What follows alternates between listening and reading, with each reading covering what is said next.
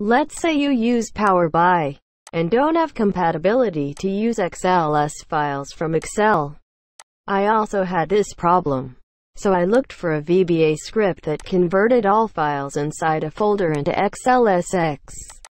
I will share the code in the description of this video.